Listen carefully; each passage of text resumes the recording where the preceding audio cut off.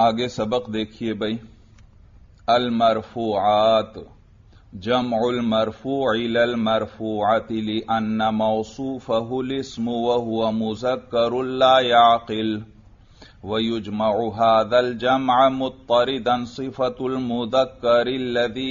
ला याक़िलु कस्साफिनाति लिद्दुकूरि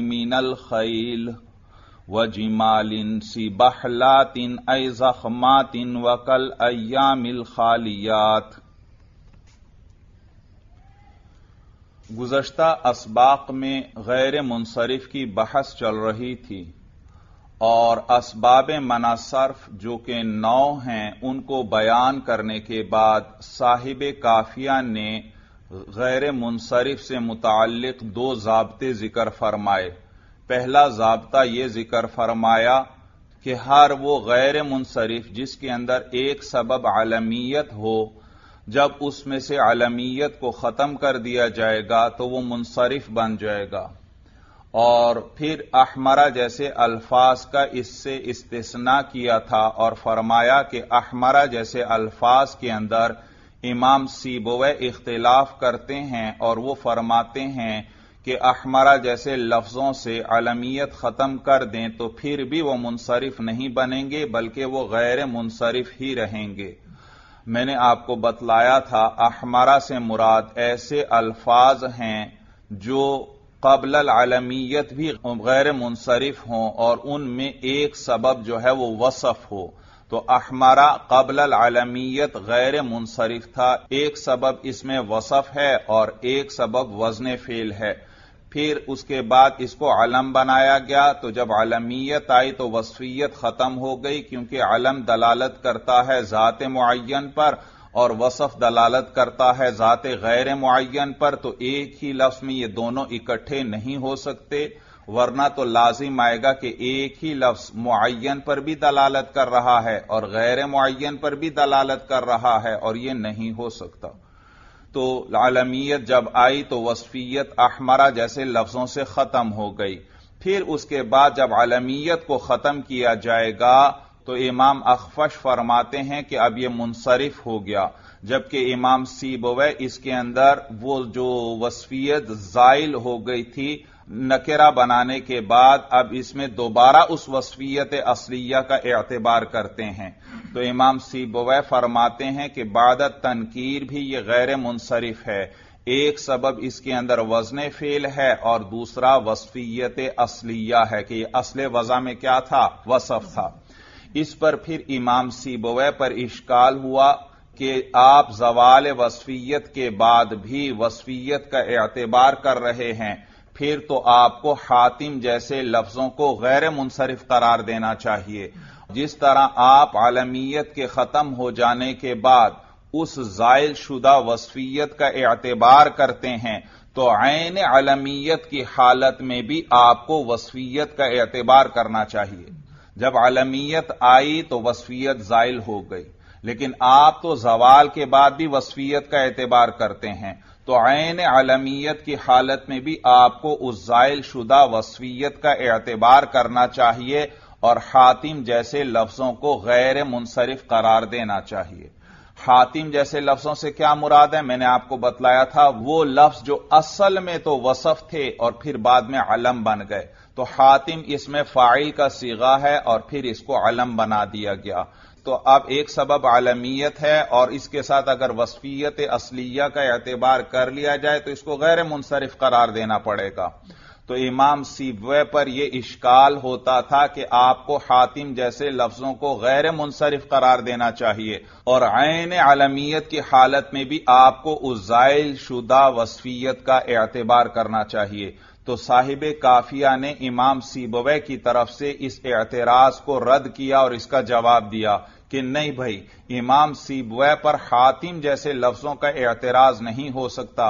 इसलिए क्योंकि इस सूरत में दो मुतजाद चीज़ों का एतबार करना लाजिम आएगा एक ही हुक्म के अंदर। आलमियत और वसफियत दोनों आपस में मुतजाद हैं। मैंने अभी बताया ये जमा नहीं हो सकते। तो इन दोनों का एतबार करना पड़ेगा एक ही हुक्म के अंदर, यानी गैर मुनसरिफ बनाने में। तो एक लफ्ज को गैर मुनसरिफ बनाना चाहते हैं आप, यानी एक ही हुक्म है और उसमें आप दो मुतजाद चीज़ों का एतबार कर रहे हैं और यह तो दुरुस्त नहीं है भाई। और फिर उसके बाद आखिर में साहिब काफिया ने दूसरा जबता भी ज़िक्र फरमाया गैर मुनसरिफ के बाब से मुतालिक। दूसरा जबता यह ज़िक्र फरमाया कि जो गैर मुनसरिफ का सारा बाब जो है, इस पर जब अलिफ्लाम दाखिल हो जाए या इसकी इजाफत कर दी जाए तो फिर यह कसरा के साथ मजरूर होगा। तो जर तो गैर मुनसरिफ पर वैसे भी आता है जब इस पर कोई हरफ जर आए या ये मुजाफिल वाक़ हो तो गैर मुनसरिफ मजरूर होता है, लेकिन गैर मुनसरिफ का जर फतहा की सूरत में आता है। किसकी सूरत में? फतहा की सूरत में। जा अनी ओमारू देखो ये रफा है बगैर तनवीन के। रई तो ओ मारा ये नसब है बगैर तनवीन के। और मरर तो बी ओ मारा इसमें देखो बाजारा दाखिल हो रही है लफ्ज उमर पर। तो ये इस वक्त मजरूर है। गैर मुनसरिफ का जर किसके साथ आता है? फतहा के साथ। लेकिन जब इस गैर मुनसरिफ पर अलिफ्लाम दाखिल हो जाए या इसकी इजाफत कर दी जाए तो फिर इस पर जर जो है वो कसरा की सूरत में आएगा। तो मसलन मरार तु बिल ओमारी या मरार तु बी ओ ओमरी कुम तो अलिफ्लाम और इजाफत की सूरत में देखो गैर मुनसरिफ पर कसरा आ जाता है। तो जब गैर मुनसरिफ पर अलिफ्लाम दाखिल हो जाए या जब उसकी इजाफत कर दी जाए तो फिर यह मुनसरिफ है या गैर मुनसरिफ? साहिब जामी ने आपको बतलाया कि फिर इसमें उलमाए नहव के तीन ग्रोह हैं भाई। बाज फरमाते हैं कि अलिफ्लाम और इजाफत के बाद गैर मुनसरिफ मुतलकन मुनसरिफ बन जाता है। जबकि बाज उलमा फरमाते हैं कि इजाफत के बाद भी यह मुतलकन गैर मुनसरफ रहता है। पहले भी गैर मुनसरफ था अलिफ्लाम और इजाफत के बाद भी गैर मुनसरिफ है। जबकि बाज उलमाए नहव फरमाते हैं कि अलिफ्लाम और इजाफत के बाद फिर उस लफ्ज में गौर किया जाएगा।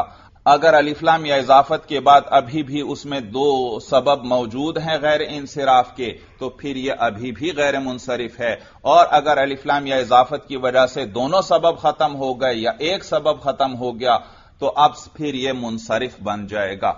और साहिब जामी ने आपको यह भी बतलाया कि अलिफ्लाम और इजाफत की वजह से आलमियत खत्म हो जाती है। तो अगर कोई लफ्ज गैर मुनसरिफ था और उसमें एक सबब आलमियत था तो जब उस पर अलिफ्लाम आएगा या उसकी इजाफत होगी तो उससे आलमियत खत्म हो जाएगी। जब आलमियत खत्म हुई, अब उस लफ्ज में दो सबब चूँकि नहीं है गैर इंसराफ वाले तो वो मुनसरिफ बन जाएगा। बात समझ में आ गई। अब आगे देखिए भाई। कहते हैं, अल मरफुआत जम उल मरफूल मरफूअतिल अन्ना मौसूफ़लिस्म व हुआ गैर मुनसरिफ की बहस मुकम्मल होने के बाद आगे साहिब काफिया मरफूआत मंसूबात और मजरूरात का बयान शुरू करेंगे अब उनमें से साहिब काफिया ने सबसे पहले मरफूआत को ज़िक्र किया और उसके बाद फिर वो मंसूबात को ज़िक्र करेंगे और आखिर में मजरूरात को ज़िक्र करेंगे। तो साहिब काफिया ने मरफूआत को क्यों मुकदम किया? उसकी वजह यह है कि ये जो मरफूआत हैं, ये कलाम के अंदर उमदा वाक़ होते हैं भाई। ये मरफूआत कलाम के अंदर उमदा वाक़ होते हैं। इसको अच्छी तरह समझ लें भाई। उमदा किसे कहते हैं कलाम के अंदर?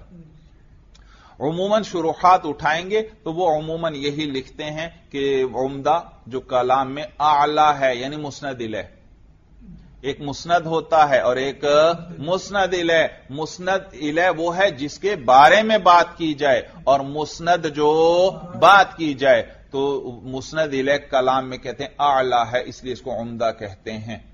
लेकिन ये दुरुस्त नहीं भाई। समझ लें, उमदा किसे कहते हैं। याद रखो, यहाँ दो लफ्ज हैं। एक है उमदा, उमदतुन, और एक है फजलतुन। फजलतुन भाई। ये लफ्ज फजलतुन पढ़ना भाई। फजला का माना है जायद जायद। तो ये लफ्ज फजलतुन है भाई। तुलबा उमूमन इसको फुजला पढ़ते हैं भाई। फुजला नहीं, ये फजला लफ्ज है भाई। उमदा और फजला ये एक दूसरे के मुकाबिल हैं। उमदा का माना है कलाम का आला हिस्सा। और फजला का माना है जायद, यानी यह कलाम का जायद हिस्सा है। अगर यह न भी हो तो भी कलाम दुरुस्त है। तो उमदा किसे कहते हैं? उमदा कलाम का बुनियादी बुनियादी आला हिस्सा जो है। यूँ कहें, कलाम का बुनियादी जुज जो है, उसको उमदा कहते हैं। और कलाम के बुनियादी जुज दो हैं, एक मुस्नद एक मुस्नद इले तो मुस्नद भी उमदा है और मुस्नद इले भी उमदा है। जैसे मुबतदा और खबर। मुबतदा क्या है? मुस्नद इले। और खबर क्या है? मुस्नद। तो ये दोनों उमदा हैं। इसी तरह इसी तरह, जुमला फेलिया के अंदर फेल और फ़ाइल। फेल क्या है? मुस्नद। और फ़ाइल क्या है? मुस्नद इले। तो ये दोनों उमदा हैं। इसी तरह, इन्ना का इसम और खबर। इन्ना किस पर दाखिल होता है? मुबतदा और खबर पर। तो इन्ना का इसम मुबतदा के दर्जे में है और उसकी खबर मुबतदा की खबर के दर्जे में है। तो इन्ना जैदन कायमुन तो इन्ना का इसम क्या? जैदन। ये मुस्नद इले है। और कायमुन इसकी खबर है इन्ना की। तो ये भी क्या है? कलाम में उमदा है। या इसी तरह काना का इसम और खबर। काना का का, तो काना का इसम क्या होता है? मुस्नद इले और काना की खबर क्या होती है? मुस्नद होती है। तो उमदा किसे कहते हैं? कलाम का उमदा और आला और बुनियादी जुज जो है, उसको उमदा कहते हैं। और वो दो हैं, मुस्नद भी और मुस्नद इले भी। यानी ये कलाम के वो जुज हैं कि जिनके बगैर कलाम पूरा नहीं होता। और इनमें से किसी को हजफ करना जायज़ नहीं, इल्ला यह कि कोई दलील उसके कायम मकाम हो जाए। अगर आप उमदा को हजफ करेंगे तो कलाम फासिद हो जाएगा, कलाम में खलल आ जाएगा, उसका पूरा माना ही समझ में नहीं आएगा। जैद उन कायमुन, जैदुन है मुबतदा और कायमुन है उसकी खबर। तो जैद को हजफ कर दें, सिर्फ़ कायमुन कहें, बात किसी को समझ में नहीं आएगी। या सिर्फ़ जैद कहें, कायमुन को हजफ कर दें तो बात किसी को समझ में नहीं आएगी। तो उमदा कलाम का वो आला और बुनियादी जुज कि उसको हजफ कर दें तो कलाम में खलल आ जाए, कलाम फासिद हो जाए। और उसको अगर हजफ करना भी पड़े तो वहाँ कोई दलील कायम करना पड़ेगी। कोई करीना ऐसा होना चाहिए जिससे सुनने वाले को पता चल जाए कि यहाँ पर यह मुबतदा महजूफ है या खबर महजूफ है। तो उमदा क्या है कलाम में? मुस्नद और मुस्नद जुमला इसमिया में मुस्नद को क्या कहते हैं? मुबतदा। और मुस्नद को क्या कहते हैं? खबर। ये दोनों उमदा हैं। इसी तरह जुमला फेलिया के अंदर फेल है मुस्नद और फ़ाइल है मुस्नद ये दोनों भी क्या हैं? उमदा हैं। बात समझ में आ गई? इसी तरह मैंने इन्ना और काना वगैरह की मिसाल दी। मतलब जो भी मुस्नद और मुस्नद के दर्जे में है, वो सब क्या हैं? उमदा हैं कलाम के अंदर। जबकि इनके अलावा जो है, उनको फजला कहते हैं। फजला का माना जायद चीज़।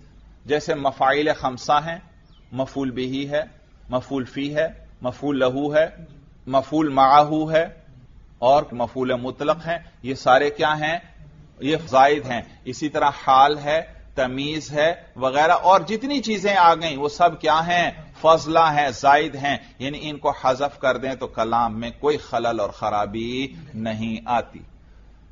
जैसे देखो, जराबा जैदुन आमरान जराबा जैदुन आमरान जैद ने आमर की पिटाई की। जराबा फेल।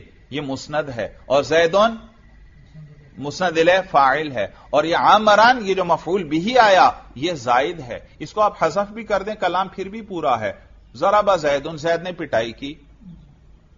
कलाम में कोई खराबी आई? कोई खराबी नहीं आई। सिर्फ़ मफूल का पता नहीं चला आपको, कोई हरज नहीं। जराबा जैद उनसे इतना तो पता चल गया कि पिटाई हुई है, जैद ने पिटाई की है, कोई ना कोई मजरूब है। लेकिन वो कौन है, मैं आपको नहीं बताना चाहता, मैंने उसको हजफ कर दिया। तो मुस्नद और मुस्नद इला के अलावा कलाम के बाकी अज्जा क्या कहलाते हैं? फजला। और इनको फजला इसलिए कहते हैं कि इनके बगैर भी बात पूरी हो जाती है। लेकिन एक गहरी बात याद रखना कभी कभार फजला भी ज़रूरी हो जाता है। फजला का यह माना नहीं कि वो बिल्कुल ही बेकार है भाई।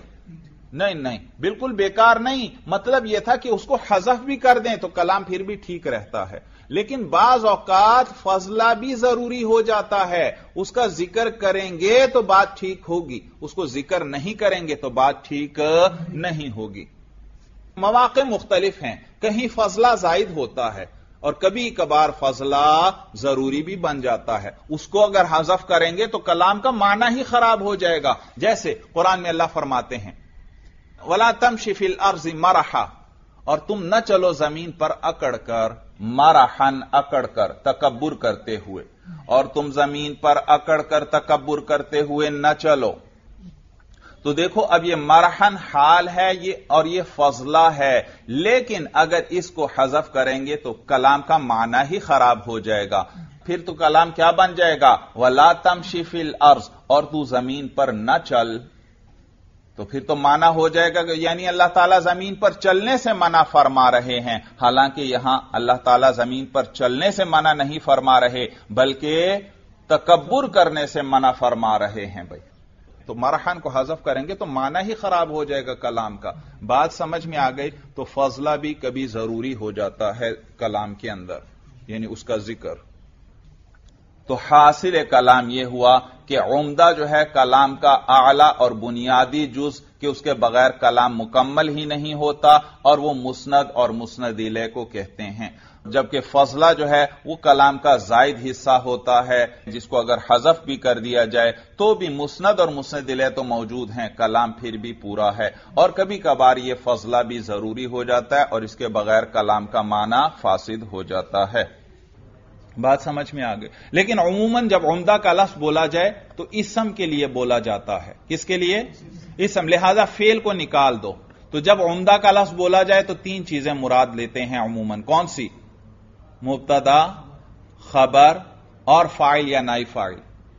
तवज्जो है, फिर सुनो। जुमला दो किस्म पर है। एक जुमला इसमिया, एक जुमला फेलिया। जुमला इसमिया में क्या क्या है? मुबतदा और खबर। मुबतदा है मुस्नद और खबर है मुस्नद। दोनों उमदा हैं, क्योंकि इनसे मिलकर कलाम पूरा हो जाता है। जुमला फेलिया में फेल है और आगे फ़ाइल या नाई फ़ाइल आएगा। फेल मारूफ हो तो फ़ाइल आएगा, फेल मजहूल हो तो नाई फ़ाइल। तो ये जो फेल है, ये है मुस्नद। और ये जो फ़ाइल या नाई फ़ाइल है, ये मुस्नद इल। है तो ये दोनों क्या है? उमदा। लेकिन उमदा बोलकर अमूमन इसम मुराद लेते हैं। क्या मुराद लेते हैं? इसम। तो इसमें से एक तो फेल है, जुमला फेलिया में। मुस्नद तो फेल है, लिहाजा उसको निकाल दो। अब जब मैं उमदा का लफ्ज कहूँ तो कितनी चीज़ें रह गई? तीन चीज़ें। देखो भाई, जुमला फेलिया और जुमला इसमिया। जुमला इसमिया के अंदर उमदा क्या क्या? मुबतदा और खबर। जुमला फेलिया में क्या है? फेल और फ़ाइल या नाई फ़ाइल। फेल को जरा निकाल दो। अब कुल कितनी चीज़ें रह गई? हाँ, कुल कितनी चीज़ें रह गई? तीन चीज़ें। मुबतदा, खबर और फ़ाइल या नाई फ़ाइल। फ़ाइल या नाई फ़ाइल, ये एक ही है, एक शुमार कर लो। सिर्फ़ फ़ाइल कह दो। नाई फ़ाइल उसी के साथ है भाई। बात समझ में आ गई। तो उमदा जब बोला जाए तो ये तीन चीज़ें मुराद होती हैं। क्या क्या मुबतदा, खबर और फ़ाइल या नाई फ़ाइल, ये चीज़ें जो हैं, इनको उमदा कहते हैं। तो बात चल रही थी कि साहिब काफिया ने मरफुआत को क्यों मुकदम किया? तो वजह मैंने आपको बतला दी कि ये मरफुआत जो हैं, कलाम के अंदर उमदा वाक़ होते हैं। देखो, मुबतदा मुस्नद है और खबर मुस्नद है और यह उमदा है। मुबतदा भी क्या होता है? मरफू, उस पर रफा आता है। खबर भी क्या होती है? मरफू, उस पर रफा आता है। और इसी तरह फेल के साथ जो फ़ाइल या नाई फ़ाइल आते हैं, फ़ाइल भी मरफू होता है। नाई फ़ाइल भी मरफू। तो देखो, ये उमदा जो है, वो मरफू होते हैं। तो साहिब काफिया ने मरफूआत को मुकदम किया मनसूबात और मजरूरात पर। इसलिए क्योंकि रफा जो है, वो उमदा की अलामत है। और नसब और जर याद रखो, ये फजला की अलामत है। किसकी अलामत है? फजला की अलामत है। तो मरफूआत चूँकि कलाम में उमदा वाक़ होते हैं, इसलिए सबसे पहले साहिब काफिया मरफुआत को लेकर आए। यहाँ तक बात समझ में आ फिर एक और बात याद रखना। साहिब काफिया ने मरफुआत मनसूबात और मजरूरात, इनमें से मरफूआत को बाकी दोनों पर मुकदम किया। तोज्जो है। और उसके बाद फिर वो मनसूबात लाए और आखिर में वो मजरूरात लाए। यहाँ पर साहिब जामी आपको यह नहीं बतलाएँगे कि साहिब काफिया ने मरफुआत को क्यों मुकदम किया। तवज्जो है। ये साहिब जामी नहीं बतलाएँगे। और आगे चलकर मंसूबात में बतलाएँगे कि मंसूबात को मजरूरात पर क्यों मुकदम किया है। तवज्जो है, मरफूआत में हमें नहीं बताएँगे कि मरफूआत को क्यों मुकदम किया और मंसूबात में जाकर हमें बताएँगे कि मंसूबात को मजरूरात पर क्यों मुकदम किया है। भाई, क्या वजह है? या तो वो मरफूआत में भी वजह बतलाते, फिर मंसूबात में भी बतलाते, फिर तो बात बनती है, लेकिन एक जगह वो ज़िक्र कर रहे हैं, दूसरी जगह ज़िक्र नहीं कर रहे। तो मरफूआत के मुकदम करने की वजह उन्होंने नहीं लिखी। इसकी क्या वजह है? वजह वही नुकता है जो अभी मैंने बयान कर दिया कि मरफूआत कलाम में उमदा होते हैं और मंसूबात और मजरूरात क्या होते हैं? कलाम में फजला होते हैं। तो जो उमदा है, ज़ाहिर सी बात है, उसको मुकदम ही होना चाहिए भाई। अलबत्ता, फिर मनसूबात और मजरूरात दोनों फजला हैं। वहाँ सवाल पैदा होता है कि मनसूबात को मजरूरात पर क्यों मुकदम किया? तो वहाँ फिर वो जवाब देते हैं कि चूँकि मंसूबात ज़्यादा हैं, उनमें बहस ज़्यादा है, इसलिए पहले उसको ज़िक्र किया ताकि इनकी तवील बहस खत्म हो जाए। तो आखिर में सिर्फ़ मजरूरात रह जाएँगे और मजरूरात तो दो ही हैं तो उनका बयान वहाँ पर आखिर में आ जाएगा। बात समझ में आ गई। ये तो वजह थी कि मरफूआत को क्यों मुकदम किया? अब इसका एराब भाई, कि अल मरफुआत इस पर एराब कौन सा आएगा? याद रखो एक तरकीब यह है कि आप इसको खबर बना दें और इसके लिए मुबतदा हाजी ही महजूफ निकाल लें। आई हाजी मरफूआत तो हाजी ही हुआ मुबतदा और अल मरफूआत खबर है और खबर मरफू होती है तो इस सूरत में अल मरफूआत पर रफा पड़ेंगे। हाँ, आपके जहन में आएगा कि अलमरफूआत तो जमा है और हाजी ही, ये तो वाहिद मुअन्नस का इसमें इशारा है। तो मैंने आपको पहले बतलाया था कि ये जमा बतावील जमाअतुन किसके हुक्म में होती है? वाहिद मुअन्नस के हुक्म में होती है। इसलिए इसके लिए वाहिद मुअन्नस का इसमें इशारा हाजी ही निकाल लेंगे। तो इबारत क्या बन गई? हाजिहिल मरफुआत। हाजी ही है मुबतदा और अलमरफूआत उसकी खबर है और खबर मरफू होती है। या दूसरी तरकीब के अलमरफुआत को मुबतदा बनाओ और हाजी ही को खबर निकाल लो। अलमरफुआत हाजी ही तो अब अलमरफूआत मुबतदा बन गया और हाजी ही उसकी खबर बन गई भाई। तीसरी तरकीब यहाँ यह है कि मुबतदा हाजी ही न निकालें, बल्कि हाजा निकाल लें। हाजा। और अलमरफूआत से पहले कोई मुजाफ, महजूफ निकाल लें। हाजा बहसुल मरफुआती या हाजा बाबुल मरफुआती या हाजा जिक्रुल मरफुआती या हाजा बयानुल मरफुआती कोई भी लफ्ज आप निकाल लें, मरफुआत से पहले, चाहे ज़िक्र का लफ्ज निकाल लें, चाहे बयान का, चाहे बहस का, चाहे बाब का तो वो मुजाफ हो जाएगा, और अल मरफुआती मुजाफोन इल है तो इबारत क्या बन गई? हाजा बहसुल मरफुआती हाजा हुआ मुबतदा। और बहसु यह है खबर और यह मुजाफ है और अलमरफुआती मुजाफोन इल। तवज्जो है। फिर क्या किया गया? बहस लफ्ज को जो मुजाफ था उसको हजफ कर लिया गया और अलमरफुआत को उसका कायम मकाम कर दिया गया। किसको हजफ किया? बहस को या ज़िक्र को या बयान जो भी मुजाफ था उसको हजफ कर दिया। और वो क्या था? वो मरफू था, क्योंकि वो खबर बन रही थी। खबर क्या होती है? मरफू। तो जब उसको हजफ किया तो अलमरफूआत उसका कायम मकाम बन गया। जब उसका कायम मकाम बना तो अब अलमरफूआती जेर नहीं पड़ेंगे।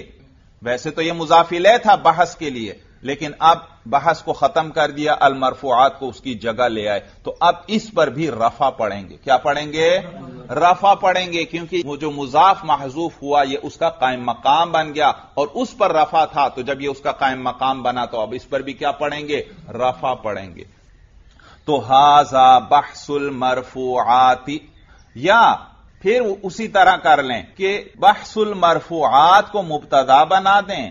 और हाजा को खबर महजूफ निकाल लें आई बहसुल मरफुआती हाजा, या बयानुल मरफुआती हाजा, या जिक्रुल मरफुआती हाजा, या बाबुल मरफुआती हाजा। तो बाबुल मरफुआत वगैरह ये क्या बन गए? मुबतदा। बात समझ में आ गई। भाई देखो ना, अब इस सूरत में हाजी ही नहीं निकालना, बल्कि हाजा निकालना है। इसलिए क्योंकि हाजी ही उस वक्त हम निकालते थे जब अल मरफुआत के साथ उसको जोड़ना होता था।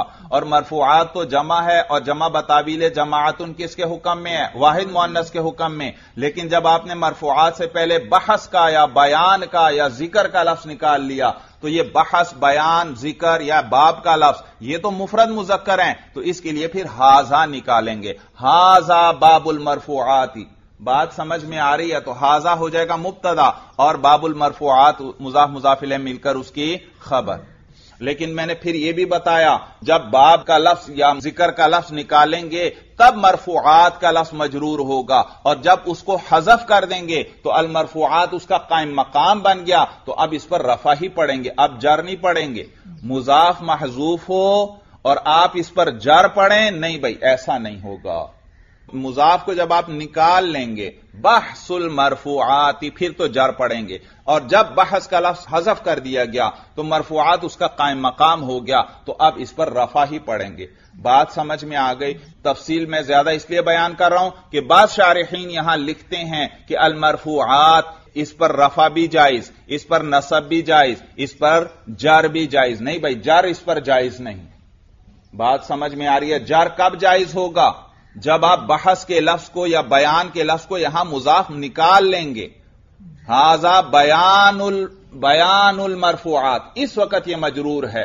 लेकिन बयान का लफ्ज तो आपने निकाला। जब बयान को हजफ कर दिया तो अलमरफुआत को उसका कायम मकाम कर दिया। जब उसका कायम मकाम किया तो उस पर रफा था, इस पर भी क्या पढ़ेंगे? रफा। तो अलमरफुआत भाई इसको मुबतदा भी बना सकते हैं और खबर भी। मुबतदा भी मरफू होता है और खबर भी मरफू। और फिर मुबतदा क्या निकाल सकते हैं?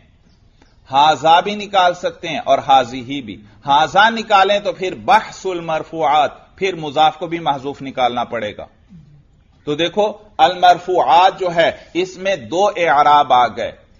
दो एराब, लेकिन दोनों रफा हैं। एक रफा है मुबतदा होने की बिना पर। किसको क्या बनाओ? मुबतदा। अलमरफुआतो हाजी ही हाजी ही को खबर बनाओ। दूसरी सूरत यह कि हाजी ही को मुकदम निकाल लो और अलमरफुआत इसको खबर बना दो। तो अब इस पर रफा किस बिना पर है? खबर होने की बिना पर है। इसी तरह, हाजा बहसुल मरफुआती, हाजा बहसुल मरफुआती, इस सूरत में हाजा मुबतदा और बहसु मरफू ये है खबर और ये मुजाफ है और अलमरफुआती मुजाफोन इल है तो हाजा बहसुल मरफुआती इसको खबर बना दो. या बहसुल मरफुआती हाजा इसको मुबतदा बनाओ और हाजा को खबर. तो इस सूरत में ये मजरूर है. लेकिन जब बहस के लफ्ज को या बयान जो मुजाफ का था उसको हजफ करेंगे तो अब इस पर क्या पढ़ेंगे? रफा ही पढ़ेंगे. अब जर नहीं. मालूम हुआ अभी तक मैंने जो चार सूरतें बताई, लेकिन उन चारों के अंदर या ये मुबतदा बन रहा है या खबर बन रहा है तो गोया इस पर रफा ही आएगा। चाहे इसको मुबतदा बनाओ, चाहे खबर बनाओ, चाहे इसको मुजाफिले बना दो, क्योंकि मुजाफ को जब हजफ करेंगे तो ये उसका कायम मकाम हो जाएगा, फिर भी इस पर रफा ही पड़ेंगे।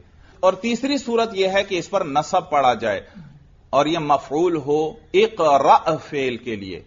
एक मरफुआती इकरा फिल अमर अंता जमीर इसके अंदर फ़ाइल और अल मरफुआती ये मंसूब है भाई ये मजरूर न समझना क्योंकि ये जमा मुन्नस सालिम है और जमा मुन्नस सालिम का नसब किस सूरत में आता है कसरा ही की सूरत में आता है तो ये मंसूब है तो इकरा इल मरफुआती तो इकरा निकाल लें या खुज का लफ्ज निकाल लें खुजिल मरफुआती के मरफूआत ले लो या इशराइल मरफुआती, के मरफुआत को शुरू करो तो बहरहाल जो भी फेल अमर यहाँ निकाल लें तो यह अल मरफुआत मफूल भी ही है मंसूब है। तो गोया तीन तरकीबें हो गई।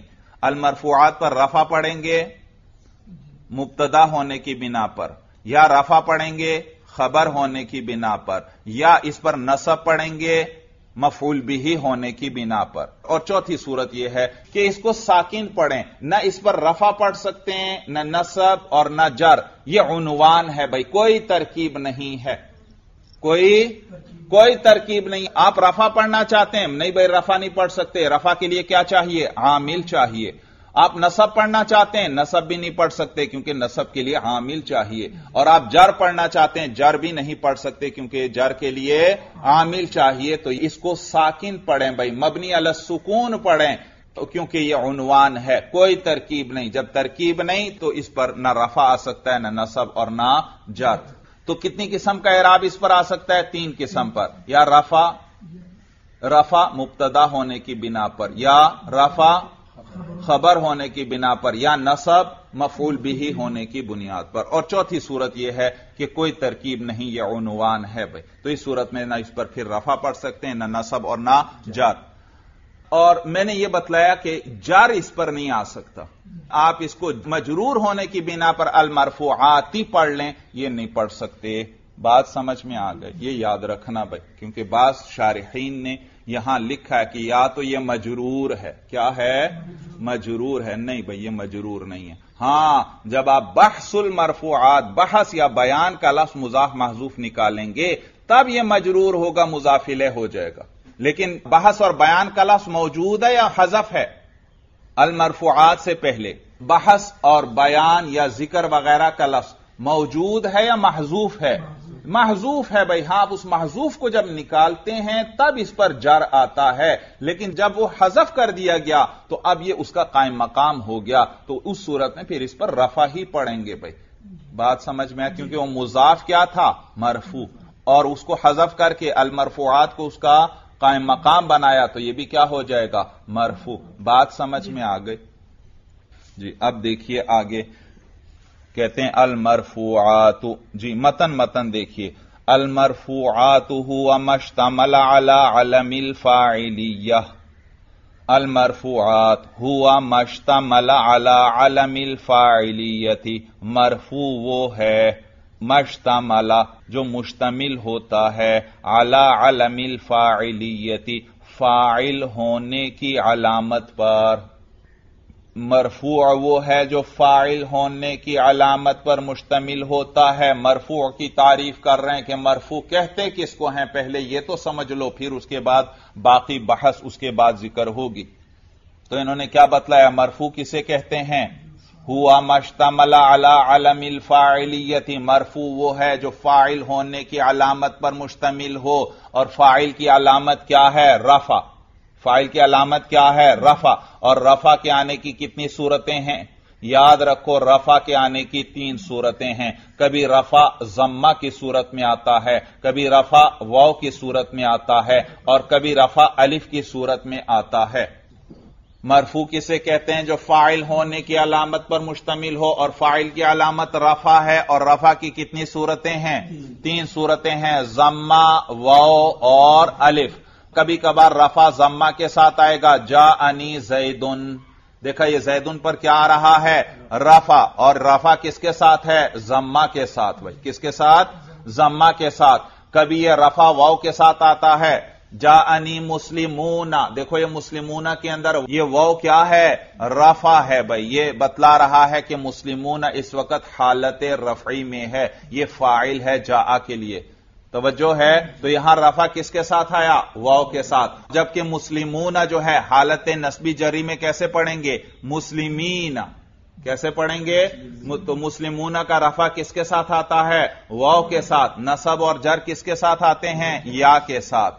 तो देखो वो भी रफा की अलामत है। इसी तरह असमा सित्ता मुकबरा मुहदा मुजाफा, इला गैरिया मुतकलम जानी अबू का रई तू अबा का मरर तो भी अबी का देखो इसका रफा भी किसके साथ आया वाव के साथ नसब किसके साथ आया अलिफ के साथ और जर किसके साथ आया या के साथ और इसी तरह तस्निया है जा अनी रजुलानी रई तो रजुलैनी मरर तो भी रजुलैनी देखो तस्निया का रफा किसके साथ आता है अलिफ के साथ और नसब और जर या के साथ तवज्जो है तो रफा कभी किसके साथ आएगा? जम्मा के साथ, जैसे जा अनी जैदुन। रफा कभी किसके साथ आएगा? वाव के साथ, जैसे जा अनी मुस्लिमूना या जा अनी अबू का और कभी रफा किसके साथ आएगा? अलिफ के साथ, जैसे तस्निया है भाई जा अनी रजुलानी। तो रफा की कितनी सूरतें? तीन। जम्मा, वाव और अलिफ भाई। तो मरफू किसे कहते हैं? जो फ़ाइल होने की अलामत, यानी रफा पर मुश्तमिल हो। यानी उसके आखिर में जम्मा हो या व हो या अलिफ हो भाई। तो कहते हैं अल मरफूआत हुआ मश्तमला अला अलमिल फाइलियती, के मरफू वो इसम है जो फ़ाइल होने की अलामत पर मुश्तमिल हो। और फ़ाइल होने की अलामत क्या है? रफा। और रफा की कितनी सूरतें हैं? तीन, जम्मा व और अलिफ भाई। अब देखिए भाई शरा के साथ भाई। अल मरफूआत जमुल मरफूल मरफूआती जी अब लफ्ज मरफूआत की तहकीक कर रहे हैं साहिब जामी अल मरफूआत देखो ये जमा मुअन्नस सालिम है अलिफ्ता के साथ है और अलमरफूआत लफ्ज को देखते ही अव्वलन शुबा यह होता है कि यह शायद मरफूआतुन की जमा है क्योंकि जमा मुन्नस सालिम है ना? जैसे मुस्लिमतुन की जमा क्या आती है? मुस्लिमातुन। तो मुस्लिमातुन का मुफरद क्या? मुस्लिमतुन। तो यहाँ पर भी शुबा होता है कि अल मरफुआत ये तो जमा मुन्नस सालिम है। मालूम हुआ यह मरफुआतुन की जमा है। तो साहिब जामी आपको बतलाएँगे, नहीं भाई यह मरफुआतुन की जमा नहीं है यह मरफुन की जमा है। किसकी? मरफुन की जमा है। वजह यह कि यह बहस चल रही है इसम की। किसकी बहस चल रही है? इसम। की बहस चल रही है कि वो इसम कभी मरफू होता है कभी मंसूब होता है और कभी मजरूर होता है। तो मालूम हुआ कि ये मरफूआत ये मरफून की जमा है क्योंकि मरफून सिफत का सीगा है और सिफत के सीगे के लिए मौसूफ चाहिए भाई। क्या चीज़ है जिसको रफा दिया गया है? क्या चीज़ मरफू है? तो इसका मौसूफ इसम है भाई। और इसम लफ्ज मुजक्कर है। तो इसकी सिफत मरफून आनी चाहिए या मरफूआतुन आनी चाहिए?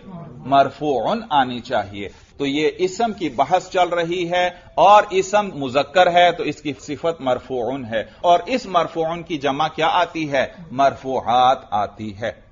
इस पर शुबा पैदा होता है कि भाई मरफून मुजक्कर है और इसकी जमा तो मरफू ना आनी चाहिए, न कि मरफूआत आनी चाहिए। इसकी जमा तो वाव नून के साथ आनी चाहिए, ना कि अलिफ्ता के साथ। तो आपको साहिब जामी बतलाएँगे कि वो मुजक्कर जो गैर जवील अकूल में से हों, उनकी सिफत की जमा अरबी ज़ुबान में कसरत के साथ अलिफ्ता के साथ लाई जाती है। कि वो मुजक्कर जो किसमें से हो? गैर जविल अकूल में से। गैर जविल अकूल जविल अकूल जानते हो भाई? याद रखो, जविल अकूल यानी अकल वाले, जिनको अल्लाह ने अकल नसीब फरमाई है, वो तीन चीज़ें हैं। इंसान, जिन्नात और फरिश्ते। इंसान, जिन्नात और फरिश्ते, ये जविल अकूल में से हैं। और बाकी चीज़ें क्या हैं? गैर जविल अकूल में से। तो साहिब जामी आपको बतलाएँगे कि वो मुजक्कर जो गैर जवील अकूल में से हो। उसकी सिफत की जमा अलिफ्ता के साथ अरबी ज़ुबान में कसरत के साथ लाई जाती है। कसरत के साथ इस्तेमाल की जाती है। किसकी जमा? वो मुजक्कर जो किसमें से हो? गैर जबिल अकूल में से हो। उसकी जो सिफत है उस मुजक, वो मुजक्कर नहीं उसकी सिफत जो है उसकी सिफत की जमा अलिफ्ता के साथ अरबी ज़ुबान में आम तौर पर लाई जाती है। तो अल मरफुआत किसकी जमा? अभी बताया मरफून की जमा। और मरफून किसकी सिफत है? इसम की सिफत है। और इसम जबिल अकूल में से है या गैर जबिल अकूल में से? गैर जबिल अकूल में से। तो इसम जो है, ये गैर जबिल अकूल में से है और मुजक्कर है भाई। तो वो मुजक्कर जो गैर जबिल अकूल में से हो, उसकी जो सिफत है, यानी जैसे यहाँ मरफून है, उसकी सिफत की जमा अलिफ्ता के साथ आम लाई जाती है, कसरत के साथ लाई जाती है। तो ये मरफून सिफत है किसकी? इसम की। और इसम क्या है? वो मुजक्कर है जो गैर जबिल अकूल में से है तो इसकी सिफत मरफून जो है, उसकी जमा अलिफ्ता के साथ इसलिए लाई गई। बात समझ में आ गई। देखिए भाई किताब पर, कहते हैं जम उल मरफूल मरफूआती, की जो मरफूआत है यह मरफू की जमा है, मरफूआतुन की जमा नहीं। लिअन्ना मौसूफ इसम इसलिए क्योंकि इसका मौसूफ इसम है वह हुआ मुजक्कर याकिलो, और वो ऐसा मुजक्कर है जो ला याकिल है, जो अकल नहीं रखता, यानी गैर जवील अकूल में से है। वयुजमाउ हादल जमा मुतरिदन और जमा लाई जाती है। हादल जमा। ये ये हाजल जमा, इसको मनसूब पढ़ना। हाजा मौसूफ, अल जमा सिफत। मौसूफ सिफत मिलकर यह मफूल मुतलक हुआ युजमाऊ के लिए। और मफूल मुतलक क्या होता है? मनसूब होता है। और जमा लाई जाती है। ये वाली जमा कौन सी? ये नौ के लिए है। आपने पढ़ा है, जलस्तु जिल सतल कारी। मैं किसकी तरह बैठा? कारी की तरह बैठा। तो यहाँ पर भी ये जो हाजल जमा आया, ये मफूल मुतलक है और ये नौ बयान कर रहा है, किस्म बयान कर रहा है कि वह युजमाऊ हाजल जमा इस किस्म वाली जमा लाई जाती है। कौन सी किस्म वाली? अलिफ्ता के साथ। कौन सी? ये वाली किस्म वाली जमा लाई जाती है मुतरिदन तो ये मुतरिदन ये तमीज है और तमीज मंसूब होती है। और आगे जो सिफतुल मुजक्कर आ रहा है, याद रखो ये नाइबुल फ़ाइल है युजमाऊ के लिए। युजमाऊ फेले मजहूल है। फेले मजहूल के लिए क्या चाहिए? नाइब फ़ाइल चाहिए। तो युजमाऊ फेले मजहूल, हादल जमा, ये इसके लिए मफूल मुतलक और मुतरिदन है तमीज। और सिफतुल मुजक्कर, ये नाइबुल फ़ाइल है युजमाऊ के लिए। बात समझ में आ गई। तो मैंने क्या बताया कि हाजल जमा, ये मफूल मुतलक है और मुतरिदान तमीज है। किससे तमीज है? ये जो युजमाऊ की निस्बत की जा रही है सिफतुल मुजक्कर की तरफ़, नाई फ़ाइल की तरफ़। ये जो फेल की निस्बत की जा रही है, नाई फ़ाइल की तरफ़, इस निस्बत में इबहाम था। कि ये जमा कसरत से लाई जाती है या कभी कभार लाई जाती है? तो मुतरिदन लाकर साहिब जामी ने उस इबाम को दूर कर दिया कि इस सिफत की यह वाली जमा कसरत के साथ अरबी ज़ुबान में लाई जाती है। अच्छा तो भाई मैंने आपको तरकीब बतलाई व युज मऊहाद अल जमा मुतरिदन सिफतुल मुजक्कर लदी ला याखिलू पहली तरकीब क्या? वयुजमाऊ हाजल जमा ये हाजल जमा को क्या बनाया? मफूल मुतलक बनाया युजमाऊ फेल मजहूल के लिए। जबकि बाद शारहीन ने इसको मनसूब बिनजल खाफिज बनाया है। ये हाजल जमा को क्या बनाया है? मनसूब बिनजल खाफिज। इसको भी समझ लें भाई। खफ्ज, खा, फा और जाद भाई। खफ्ज खफ्ज जर को कहते हैं। किसको कहते हैं? जर। तो कलाम अरब में कभी कभार ऐसा करते हैं कि एक लफ्ज मजरूर होता है, उस पर हरफ जर दाखिल होता है। तो फिर इसमें से हरफ जर को हजफ कर लिया जाता है और उस लफ्ज पर नसब पढ़ दिया जाता है। इसको कहते हैं मंसूब बिनजल खाफिज। नज़र उनका माना खींच लेना, हटा देना। और खाफिज क्या माना? जर देने वाला, यानी वो जो हर्फ जर है, वो जो जर देने वाला हर्फ है, उसको क्या कर दिया जाता है? उसको हटा दिया जाता है और फिर उस पर नसब पढ़ लिया जाता है। तो वयुज मऊ हाजल जमा तो ये जो हाजल जमा इस पहली तरकीब पहली तरकीब के मुताबिक इसको क्या पढ़ा आपने? मफूल मुतलक बनाया भाई, कि यह नौ बयान कर रहा है। मफूल मुतलक है युजमाऊ फेल से। दूसरी तरकीब यह कि यह मनसूब है बिनजल खाफिज। असल में था वयुजमाऊ आला हाजल जमई। तवज्जो है वयुजमाऊ अला हाजल जमई। अला जारा, हाजा, मजरूर मौसूफ और अल जमई उसकी सिफत। मौसूफ सिफत मिलकर मजरूर हुए अला जारा के लिए। तवज्जो है। फिर क्या किया गया? आला जार्रा को हजफ कर लिया गया। इसको कहते हैं नज उल खाफिज। यानी जर देने वाले हर्फ को हटा दिया, खत्म कर दिया और फिर इस पर क्या पढ़ दिया? नसब। तो दूसरी तरकीब क्या? वयुजमादल जमा। ये मनसूब बिनजल खाफिज है। असल में क्या था? वयुजमाऊ आला हाजल जमई। फिर आला को हजफ कर लिया गया। खाफिज, जो जर देने वाला आला था, उसको हजफ कर लिया गया और हाजल जमा पर नसब पढ़ दिया गया। बात समझ में आ गई। तो पहली तरकीब क्या? हाजल जमा, मफूल मुतलब। दूसरी तरकीब क्या? मनसूब बिनजल खाफिज। मनसूब बिनजल खाफिज किसे कहते हैं? कि हरफ जर को हजफ करके वो जो मजरूर था, उस पर क्या पढ़ दिया जाए? नसब पढ़ दिया जाए। इसको कहते हैं मंसूब बिनज़िल हाफिज। बात समझ में आ गई। तो कहते हैं वयुजमादल जमा मुतरिदन। और ये वाली जमा कसरत से लाई जाती है। सिफतुल मुजक्कर उस मुजक्कर की सिफत अल्लदी लायाकिलु जो अकल नहीं रखता, यानी जो गैर जवील में से है। तो वो मुजक्कर जो गैर जविल उकूल में से है, उसकी सिफत की ये वाली जमा लाई जाती है कसरत के साथ। भाई, यहाँ पर आया ले अन्ना मौसूफा, इसको कैसे पढ़ेंगे? जरा पढ़ें। भाई अमूमन तुलबा इसको पढ़ते हैं ली अन्ना मौसूफा हुल इसमो। तवज्जो है? इसमें देखो, इसम के हमजा को पढ़ते हैं। जब भी इसम लफ्ज पर अलिफ्लाम आ जाए तो ये आम राइज गलती है कि इसम के हमजा को पढ़ा जाता है। हालाँकि इसम का हमजा वसली है और हमजा वसली को दर्ज इबारत में पढ़ना गलती है भाई, ये गलत है, दुरुस्त नहीं है। तो ये हमजा नहीं पढ़ेंगे भाई, फिर कैसे पढ़ेंगे? तरीका क्या? भाई देखो, तरीका सुनो। इसम था, इसम लफ्ज। इसम का हमजा क्या है? वसली। इस पर अलिफ्लाम ले आए। तो अब इसम का हमजा गिर गया। तो इसम का सीन भी साकिन और अलिफ्लाम का लाम भी साकिन। दो साकिन इकट्ठे हो गए। भाई, जब दो साकिन जमा हो गए, इसको कहते हैं इज्तमाय साकिनैन। और इज्तमाय साकिनैन दो किस्म पर है। एक आला हद्दी ही है और एक आला गैरी हद्दी ही है। आला हद्दी ही हो तो उसको पढ़ सकते हैं। वो अरबी ज़ुबान में उसी तरह इस्तेमाल होता है। दोनों साकिन रहते हैं। इज्तमाही साकिनैन आला हद्दी ही यह है कि अव्वल साकिन हरफ मद्दा हो यानी वो अलिफ, या या हो और माकबल की हरकत उनके मुआफिक हो और सानी साकिन मुदगम हो।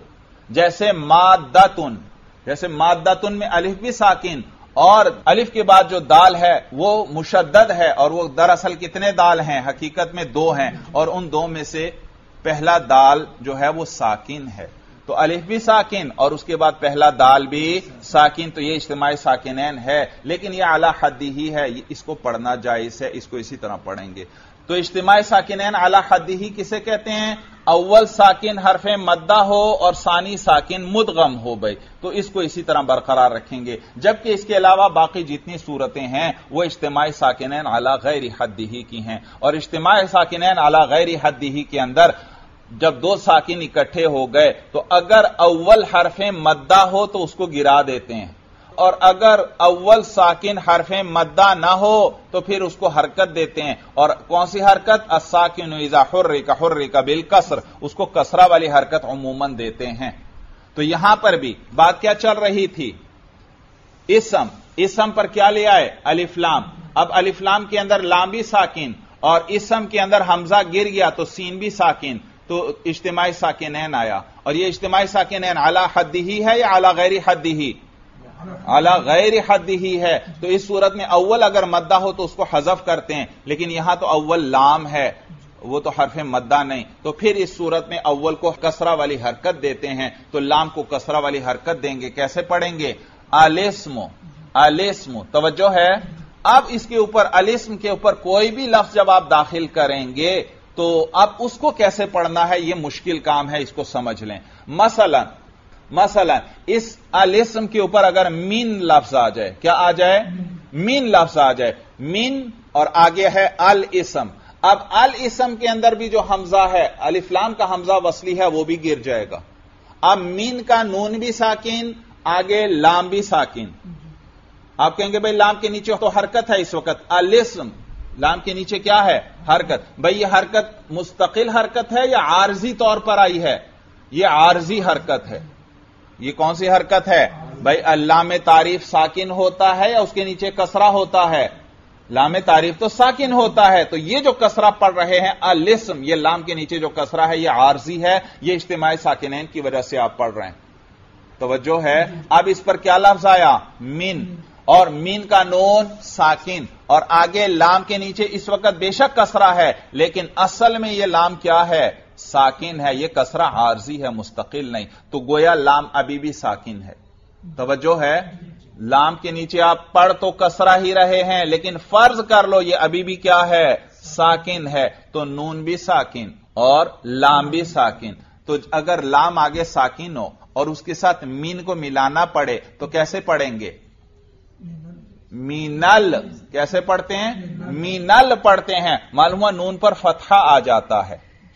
नून पर फतहा आ जाता है। तो आप इस नून पर फतहा पढ़ेंगे। क्या पढ़ेंगे?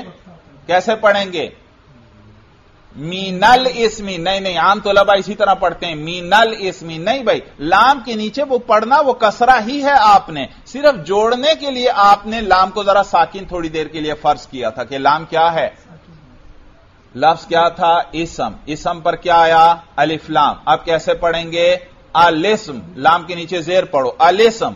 लाम के नीचे क्या पढ़ना है? जेर। अब याद रखना, इस लाम के नीचे जेर ही पढ़ना है हर हाल में। हाँ, किसी और लफ्ज को इसके साथ जोड़ना कैसे है? तो जब जोड़ने लगे तो लाम के नीचे कसरा है।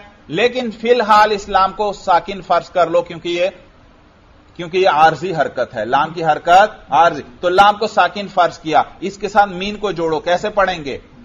मीनल मीनल। बात समझ में आ गई। बस, मीनल पढ़ के आपको पता चल गया। मीन को जोड़ते कैसे हैं? नून पर क्या पढ़ देते हैं? जबर पढ़ते हैं। तवज्जो है, जबर पढ़ते हैं। अब नून पर जबर पढ़ना है और लाम पर वही कसरा पढ़ना है। कैसे पढ़ेंगे? मीनल नहीं, मीना लिस में मीना लिस में तवज्जो है मीना लिस में। तरीका समझ में आया? अब मसलन मैं यहाँ ले आता हूँ फ़ी। क्या ले आया? फ़ी। अब फ़ी कैसे मिलाएँगे अलिस्म के साथ? देखो, अलिस्म में लाम के नीचे क्या है? कसरा। लेकिन यह कसरा आरजी है, इसको साकिन ही फ़र्ज़ करो। और इसके साथ फ़ी जरा जोड़ो। फ़ी के बाद अगर लाम में साकिन आए, कैसे जोड़ते हैं? फेल। कैसे पढ़ते हैं? फेल। क्यों? क्योंकि फ़ी की या भी साकिन थी। और आगे लाम भी साकिन। तो इज्तमाही साकिन आया। और इज्तमाही साकिन में अव्वल अगर मद्दा हो तो उसको गिरा देते हैं। और फ़ी के अंदर या मद्दा है क्योंकि या से माकबल कसरा है।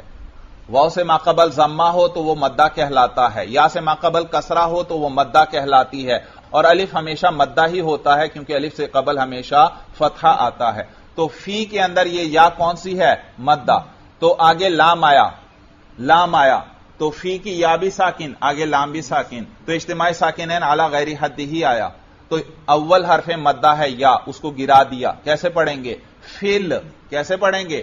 फिल। मालूम हुआ कि इस फ़ी को अलिफ्लाम के साथ जोड़ते वक्त इस फा के नीचे सिर्फ़ जेर पढ़ते हैं, या गिर जाती है।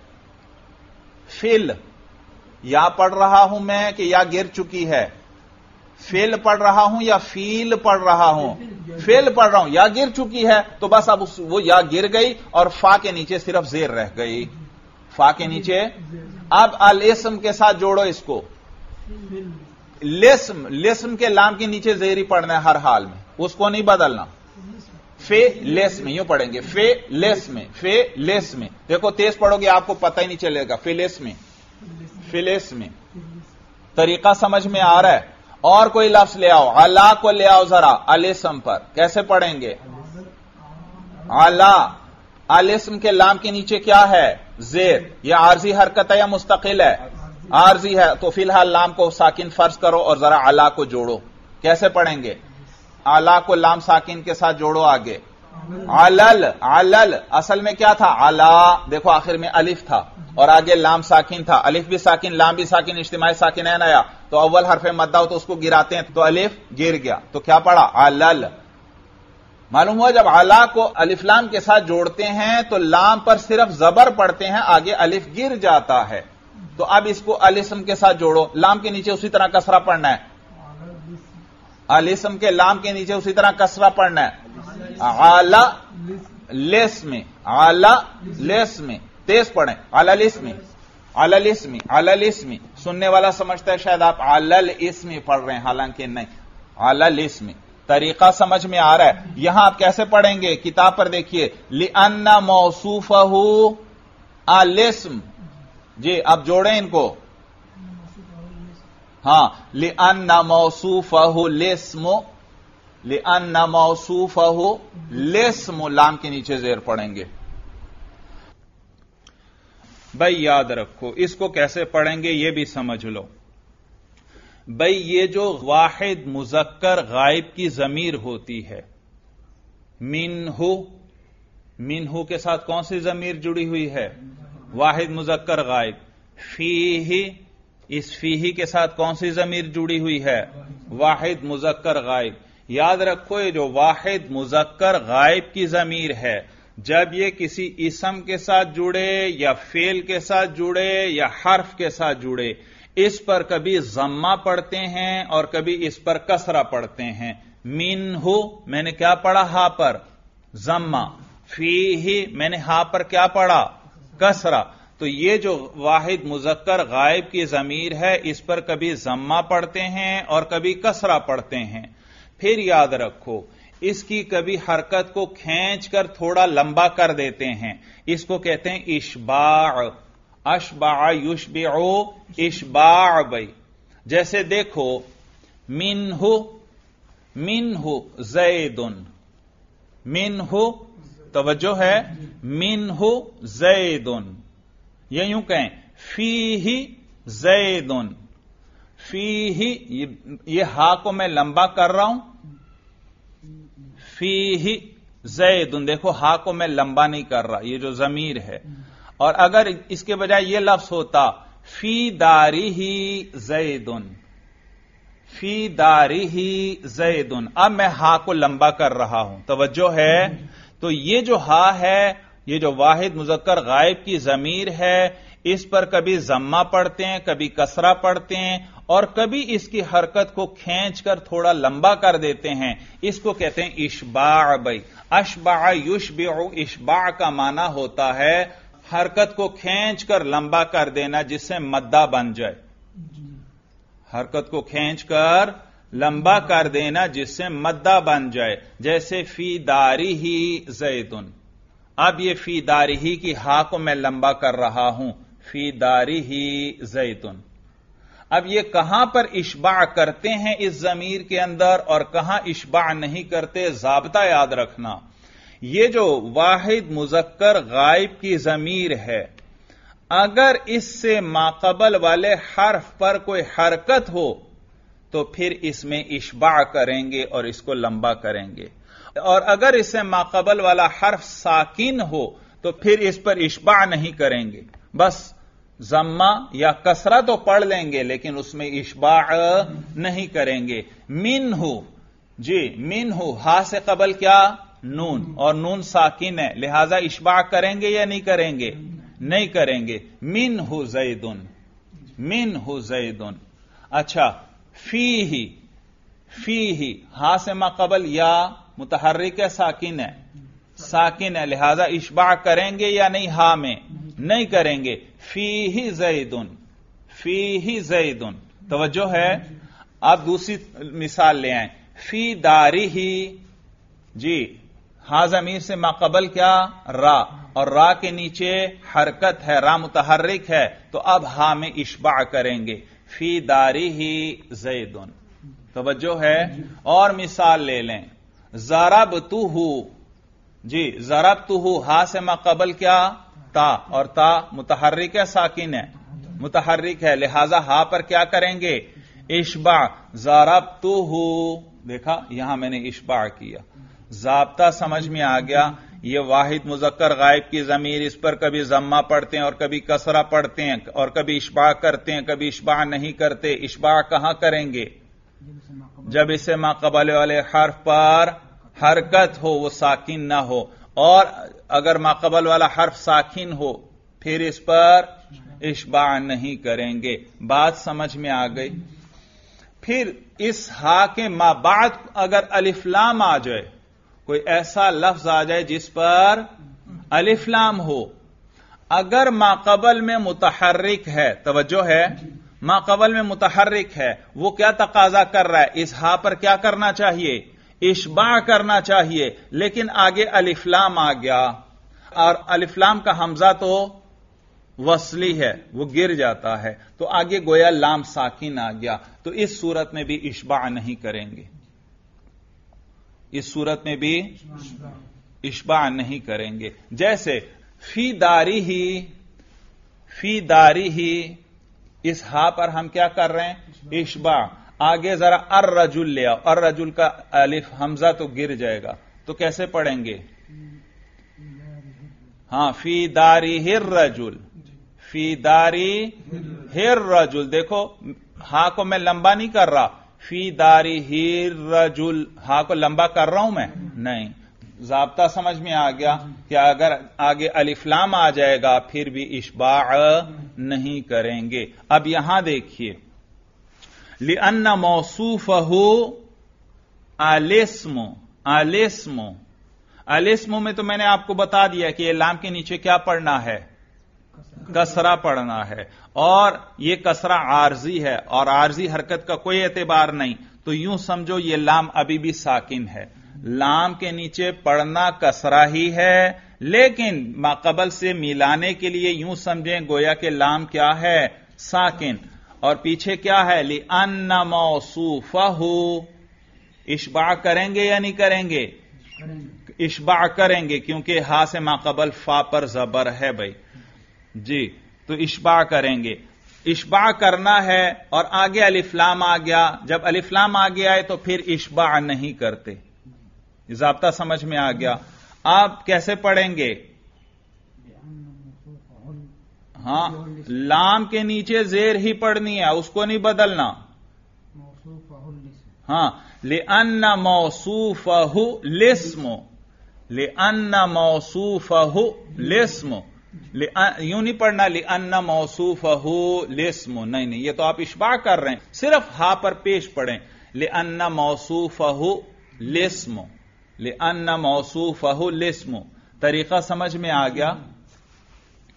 तो कहते हैं अल मरफूआत जम उल मरफू अल मरफूआती. मरफूआत जो है मरफू उनकी जमा है, न के मरफूआत उनकी ले अन्ना मौसूफ लिस्मु। इसलिए क्योंकि इसका मौसूफ इसम है वह हुआ मुजक्कर लायाकिल और वह मुजक्कर लायाकिल है। वयुज मऊहादल जमा मुतरिदन और ये वाली जमा जो है, कसरत से लाई जाती है। सिफतुल मुजक्कर लायाकिल उस मुजक्कर की सिफत की जो लायाकिल हो का साफिनात मिनल खैल। आगे साहिब जामी नजीर ज़िक्र कर रहे हैं। क्या ज़िक्र कर रहे हैं? नजीर ज़िक्र कर रहे हैं। एक होती है मिसाल, एक होती है नजीर, भाई। नजीर वा के साथ है, भाई तो तवज्जो है। याद रखो, नजीर लाई जाती है कानून और जाबते के इस बात के लिए, उसको साबित करने के लिए और मिसाल लाई जाती है कायदे की वजाहत के लिए। फ़र्क समझ में आया? नजीर किस लिए लाई जाती है? कायदे को साबित करने के लिए और मिसाल लाई जाती है कायदे की वजाहत के लिए। मसलन, आपको मैं बतलाता हूँ, अल्फाइल मरफून फ़ाइल मरफू होता है यह कानून है, जाबता है। तो अब मैं उसके लिए कदीम जो अरब कलाम था, जो अरब फसीह बलिक शायरों का कलाम था, उसमें से मैं कोई मिसाल लाऊँगा जिसमें फ़ाइल मरफू होगा।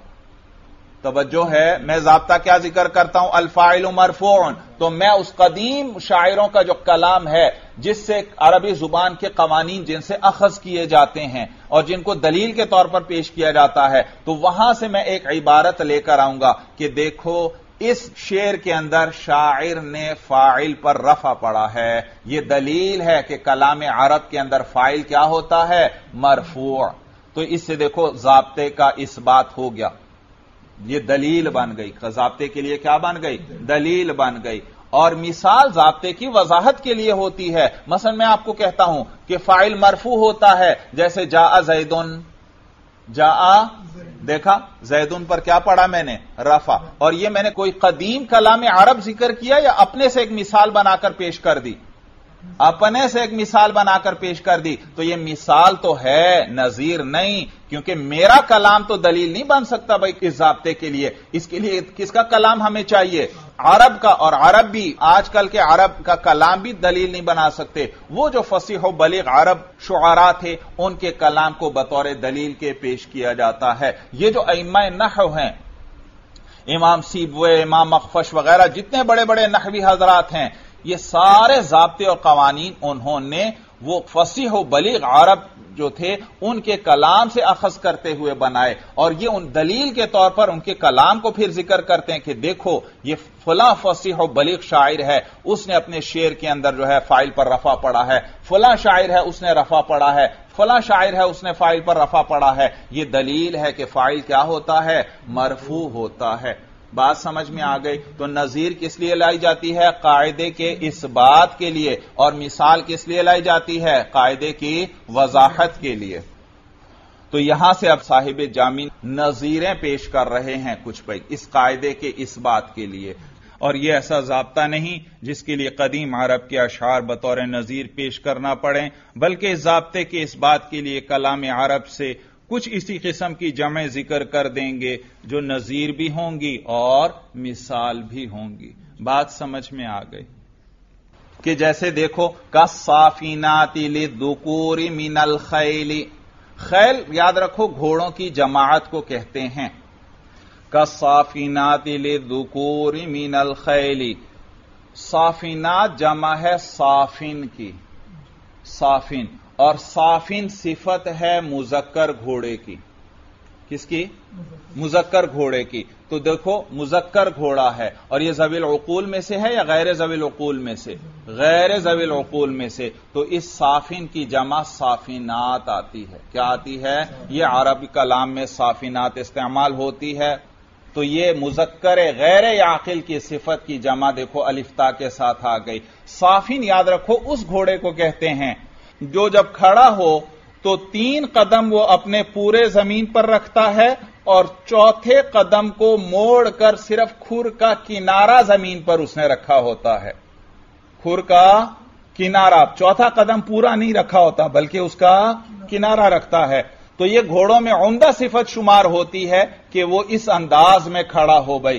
तो इस घोड़े को साफिन कहते हैं। और याद रखो अरबों के हाँ घोड़े सबसे कीमती माल में शुमार होते हैं।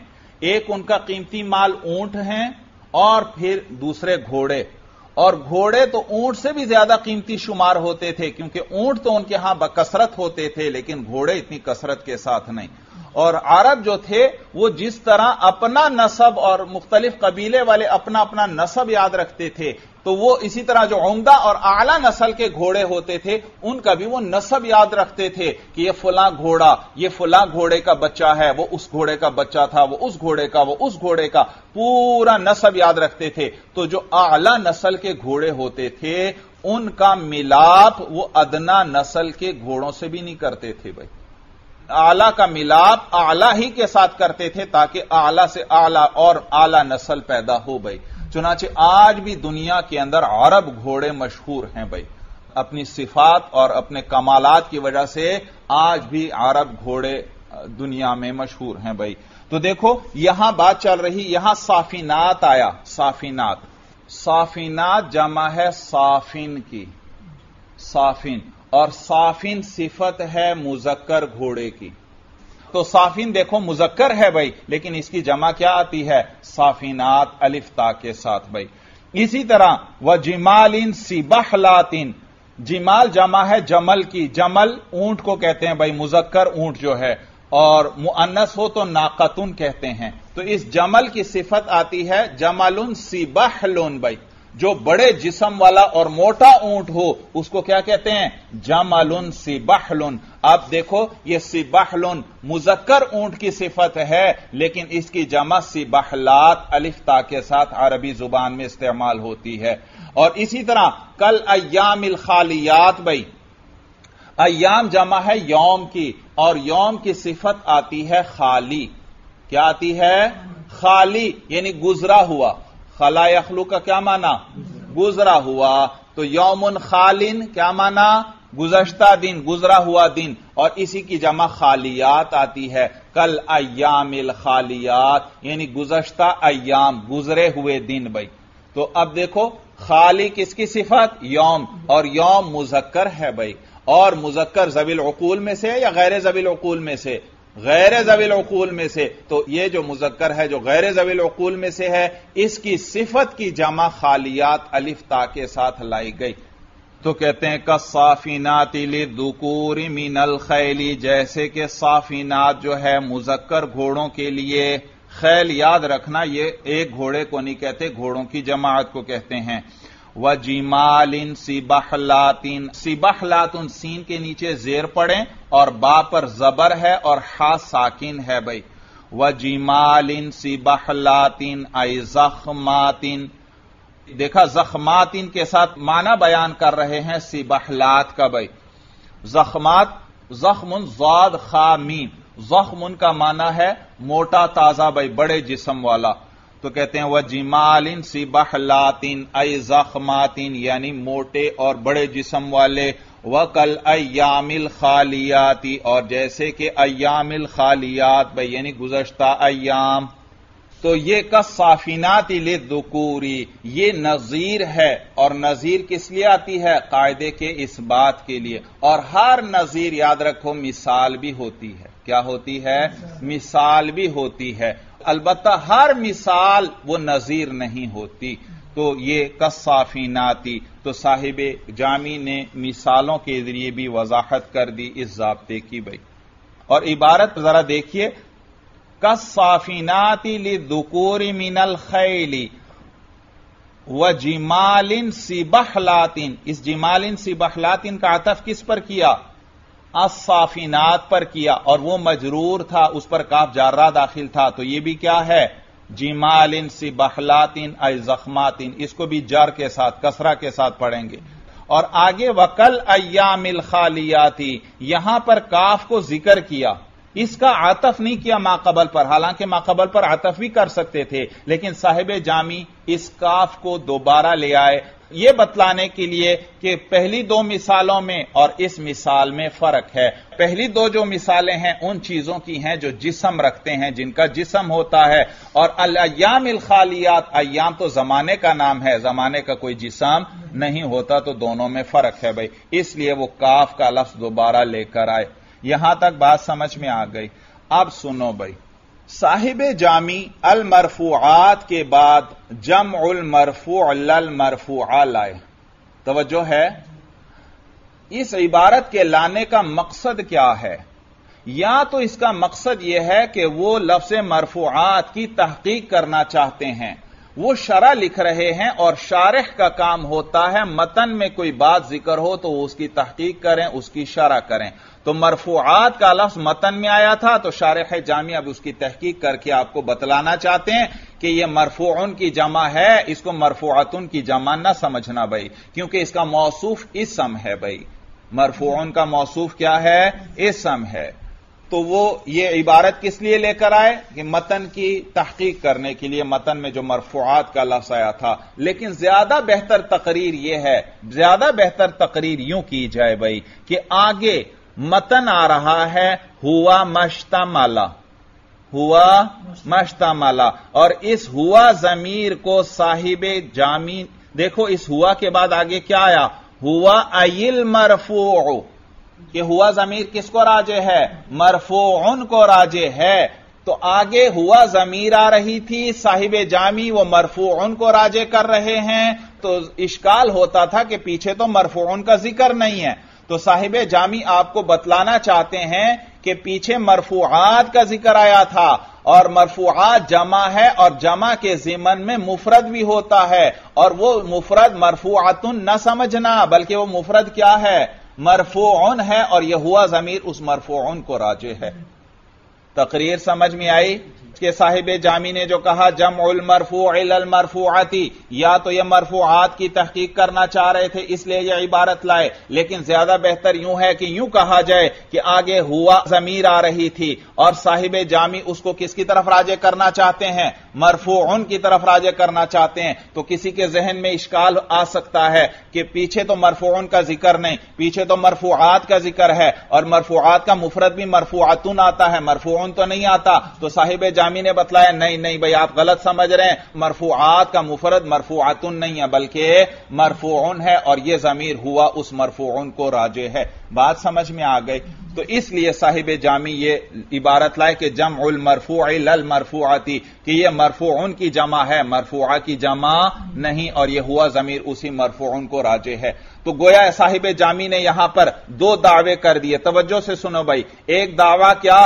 कि अल मरफूआत जम उल मरफूई, मरफूआत मरफून की जमा है। दूसरा दावा क्या? लल मरफूआती, ये मरफुआतुन की जमा नहीं है। तवज्जो है, गोया साहिब जामी ने दो दावे कर दिए। एक दावा क्या? कि मरफूआत मरफुन की जमा है। दूसरा दावा क्या? कि मरफुआतुन की जमा नहीं है। या यूँ कह लो बात को जरा मुख्तसर कर लो। दावा तो एक ही है। हाँ, उस दावे के दो जुज हैं। साहिब जामी ने क्या दावा किया कि मरफून की जमा है मरफूआत उनकी जमा नहीं। गोया दावे का एक जुज ईजाबी है, एक सलबी है। ईजाब का क्या माना? इस बात जिसमें एक चीज़ का इस बात होता है, सल्ब का क्या माना? जिसमें एक चीज़ की नफी होती है। तो दावा क्या साहिब जामी का? कि ये मरफून की जमा है मरफूआत उनकी जमा नहीं। तो यह उनका दावा है और इस दावे के दो जुज हैं। एक जुज ईजाबी है, एक सलबी है। ईजाबी जुज कौन सा? कि ये मरफून की जमा है। यह मरफून की जमा है। इसमें देखो नफी वाला कोई लफ्ज नहीं तो ईजाब है। और मरफुआतुन की जमा नहीं है। देखो इसमें सल, हरफे सल्ब आ रहा है। इसमें नफी है एक चीज़ की। तो ये सलबी जुज हुआ। दावे का तो साहिब जामी का दावा क्या? कि मरफून की जमा है, मरफूआतुन की जमा नहीं। तो गोया इस दावे के दो जूस हो गए। एक ईजाबी जूस के मरफून की जमा है और एक सलबी जूस के मरफूआतुन की जमा नहीं। जब दो दावे किए हैं तो दावे के लिए दलील चाहिए भाई। तो साहिब जामी ने आगे दोनों की दलीलें ज़िक्र की। ईजाबी जुज की दलील भी ज़िक्र की और सलबी जुज की दलील भी ज़िक्र की। सलबी जुज क्या था? कि ये मरफूआतुन की जमा नहीं है, उसकी दलील ज़िक्र की। लिअन्ना मौसूफ इसमो इसलिए क्योंकि इसका मौसूफ क्या है? इसम है। जब इसम मौसूफ मुजक्कर है तो उसकी सिफत मरफून है, ना कि मरफूआतुन भाई। तो मरफूआतुन की जमा नहीं है। दलील क्या? कि इसका मौसूफ क्या है? इसका मौसूफ इसम है भाई, ये बहस किसकी चल रही है? इसम की चल रही है और इसम तो मुजक्कर है भाई तो उसकी सिफत क्या आनी चाहिए? मरफून आनी चाहिए और फिर उस मरफून की जमा क्या है? मरफूआत। तो इसका मौसूफ इसम है। ये कौन से जुज की दलील हुई? ये सलबी जुज की, कि ये मरफुआतुन की जमा नहीं। क्यों? क्योंकि इसका मौसूफ इसम मुजक्कर है तो सिफत मरफुआतुन नहीं हो सकती। तो लिअन्ना मौसूफहुलिस्मो ये सलबी जुज की दलील हो गई। लल मरफुआती, मरफुआ की जमा नहीं है। क्यों नहीं मरफुआ की जमा? लिअन्ना मौसूफहुलिस्म क्योंकि इसका मौसूफ क्या है? इसम है। और पहला जुज क्या था? ईजाबी था कि यह मरफून की जमा है। तो मरफून की जमा मरफुआत कैसे आ सकती है भाई? मरफून तो मुजक्कर है और मरफुआत तो जमा मुन्ना सालिम है तो उसका जवाब भी दिया, दूसरे दावे की दलील यहाँ से है वह हुआ मुजक्कर लायाकिलु, कि ये इसम मुजक्कर लायाकिल है वयुजमाद अल जमा मुतरिदन सिफतुल मुजक्कर लदी लायाकिलु, कि इसम मुजक्कर लायाकिल है और मुजक्कर लायाकिल की सिफत की ये वाली जमा कसरत के साथ अरबी में आती है। बात समझ में आ गई? जी, कितने दावे आप जरा दोहरा लें? या दावे के कितने जोज? दो जूस जम उल मरफू ये ईजाबी जूस और लल मरफू आती ये सलबी जूस और लिअन्ना मौसूफहुल इसमु ये किस जुज की दलील है? ये सलबी जुज, लल मरफूअती की दलील है। और वह हुआ मुजक्कर ये किसकी दलील है? जम उल मरफू जो ईजाबी जुज था, उसकी दलील है। बात समझ में आ गई। अच्छी तरह हासिल कलाम कि आज हमने अलमरफुआत की बहस शुरू की। और सबसे पहले मैंने यह बतलाया कि साहिब काफिया ने अलमरफुआत को मुकदम किया मनसूबात और मजरूरात पर। वजह यह है कि मरफूआत कलाम में उमदा वाक़ होते हैं और मनसूबात और मजरूरात कलाम में फजला वाक़ होते हैं। इसलिए इसको मुकदम किया। और उमदा किसे कहते हैं? कलाम का बुनियादी और अहम जुजबई जिसको बगैर दलील के हजफ करना जायज़ न हो। और वह मुस्नद और मुस्नद दिले हैं। जुमला इसमिया के अंदर मुबतदा और खबर, और जुमला फेलिया के अंदर फेल और फ़ाइल या नाई फ़ाइल। भाई, ये क्या है? उमदा है। इसलिए मरफूआत को मुकदम किया और उमदा को तो होना भी मुकदम चाहिए। इसलिए साहिब जामी ने भी उसकी वजह ज़िक्र नहीं की कि इस मरफूआत को क्यों मुकदम किया, क्योंकि मरफुआत मरफुआत क्या होते हैं? उमदा और हमदा को होना भी मुकदम चाहिए और फजला को क्या होना चाहिए? मौखर होना चाहिए। तो यह बात वाजह थी, इसलिए इसकी वजह ज़िक्र नहीं की। आगे चलकर वो मनसूबात और मजरूरात में बतलाते हैं कि मनसूबात को मजरूरात पर क्यों मुकदम किया? हालाँकि दोनों फजला हैं तो बतलाया चूँकि मनसूबात की तादाद ज़्यादा है और मजरूरात की तादाद कम है तो जिनकी तादाद ज़्यादा थी, जिनमें बहस ज़्यादा थी, उनको पहले ज़िक्र किया और जिनकी बहस कम थी, उनको बाद में ज़िक्र किया भाई। और फिर उसके बाद मैंने तरकीब बतलाई थी कि यहाँ पर अल मरफुआत पर रफा भी पढ़ सकते हैं और नसब भी और इसको साकिन भी पढ़ सकते हैं बगैर किसी तरकीब के। यानी कोई तरकीब नहीं। मरफू पढ़ें, उसमें दो तरकीबें हैं। या तो यह मरफू है मुबतदा होने की बिना पर या खबर होने की बिना पर। और मनसूब पढ़ें तो यह फेर महजूफ के लिए मफूल बनेगा, इकरा इल मरफुआती।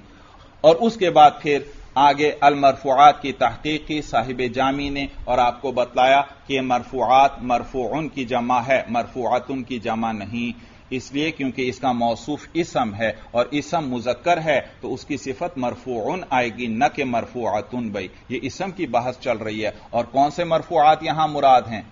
जो इसम होते हैं तो इसलिए मरफून की जमा है भाई और फिर जबता भी बताया कि हर मुजक्कर लायाकिल जो है, उसकी सिफत की जमा अरबी ज़ुबान में कसरत के साथ जो है, वो अलिफ्ता के साथ आती है। जैसे जैसे साफिनात है भाई, ये मुजक्कर घोड़े की सिफत है, लेकिन अलिफ्ता के साथ लाई गई। इसी तरह जिमाल उन सिबह लातुन भाई, जिमाल जमल की जमा है, और जमल मुजक्कर ऊँट को कहते हैं, मुअन्नस मुअन्नस को तो नाकतुन कहते हैं। तो देखो जिमाल सिबह लातुन अरबी में कहते हैं तो मुजक्कर ऊँट की जो सिफत है, उसकी जमा अलिफ्ता के साथ लाई गई। इसी तरह अल अयामिल खालियात जो है, इस अयामी ये तो यौम की जमा है, और यौम तो मुजक्कर है, और इसकी सिफत इसकी सिफत खाली जो है, उसकी जमा अलिफ्ता के साथ लाई गई, क्योंकि ये सब क्या हैं? गैर जबील अकूल में से हैं। और हर वो मुजक्कर जो गैर जबील अकूल में से हो, उसकी सिफत की जमा अलिफ्ता के साथ कलाम अरब में कसरत से लाई जाती है। बात समझ में आ गई। और फिर उसके बाद मैंने यह ज़िक्र किया कि जो साहिब जामी ने जम उल मरफू मरफूआती कहा, ये या तो मरफूआत की तहकीक करना चाहते हैं, लेकिन ज़्यादा बेहतर यह है कि यूँ कहा जाए कि आगे हुआ जमीर को मरफोन की तरफ़ राजे करना चाहते हैं। और पीछे तो मरफोन का ज़िक्र नहीं। अलबत् अलमरफुआत का ज़िक्र था तो हुआ जमीर जब मरफोन को राजे करेंगे तो किसी के जहन में शुभ आ सकता है कि पीछे तो मरफोन का ज़िक्र नहीं है, मरफुआत का ज़िक्र है, और मरफुआत का मुफरत भी क्या आता है? मरफुआतुन आता है तो पीछे तो न मरफोन लफ्जन ज़िक्र है, न जिमनन ज़िक्र है तो उसकी तरफ़ आप कैसे राजे कर सकते हैं, हुआ जमीर? तो जवाब दिया कि भाई ये जो मरफूआत है, ये मरफून की जमा है मरफूआत उनकी जमा नहीं। और फिर ये चूँकि दावे के दो जूस थे, एक ईजाबी और सलबी तो हर एक की दलील भी फिर उन्होंने ज़िक्र कर दी। बात समझ में आ गई। चलिए बस, भाई, हादा हुआ मराम। आलम भी हकीकत कलाम।